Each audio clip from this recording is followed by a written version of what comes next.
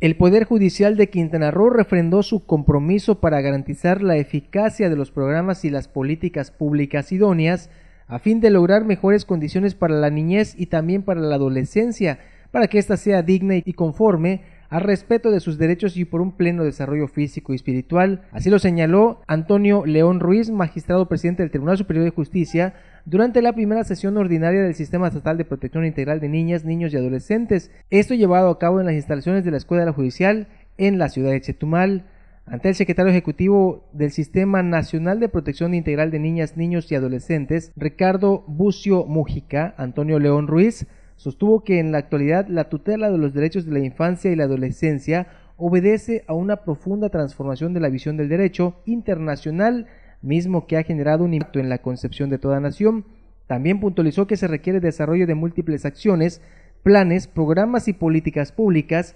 encaminadas a generar el respeto irrestricto a tales derechos. Con imágenes de Diego Ceballos para Notivisión, Juan Pablo Hernández.